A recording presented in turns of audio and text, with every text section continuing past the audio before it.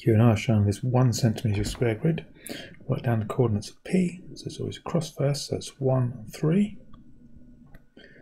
And the coordinates point R, so it's gone to the left, so it's minus 4, it's gone up 2. PQ is the diameter of a circle, so if I draw that diameter in, the circle would be something like that. That's just freehand. Uh, center will obviously be right in the middle of the diameter.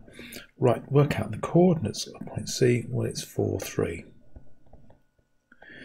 And the radius circle is how long the radius is. It's that bit there, and that's 3. Well, it would be because the whole diameter is 6, so it's only half the diameter. So that's 3. And that's be written a bit neater. And that's question 3 done.